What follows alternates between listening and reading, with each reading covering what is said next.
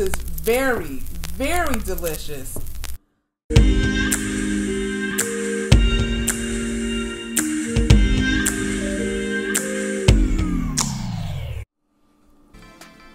Hello, and welcome back to Before Five. I'm your host, Shara, and today we're going to be making Blue Raspberry Refresher. Question of the day Have you ever had a Blue Raspberry Refresher? If so, drop that down in the comments. If not, have you had any flavor refresher? If so, leave that in the comments. Myself, I have not ever had one, so today is going to be my very first day trying a blue raspberry refresher. Now we're just going to jump right into the ingredients. So I just finished brewing this Yogi berry tea. This next ingredient that we're going to be using is Country Time lemonade. The next ingredient is going to be Torani blue raspberry syrup. And we're going to use a half a cup of ice to pour all the liquids in.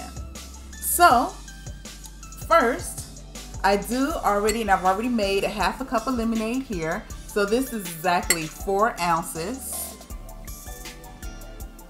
And then my next is going to be the tea. It's still a little bit hot. That's why I'm just going to pour it in here because it doesn't have any ice yet. And already it smells delicious. And this is what it looks like so far with the lemonade and the tea in there. And then my next ingredient I'm going to be using is one ounce of the Torani Blue Raspberry. So I'm just going to measure out one ounce here. Perfect. And then I'm just going to stir all of this up. It smells really delicious. Take my mixing spoon and I'm just stirring it.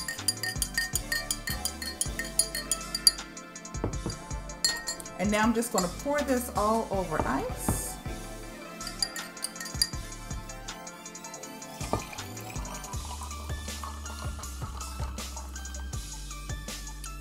Oh, they came out perfect. So, taste test. Woo! This is very, very delicious. You can definitely taste the tea, which is really good for you. Then you can taste the blueberry and the um, the syrup, Torani syrup, that gives it a beautiful pop.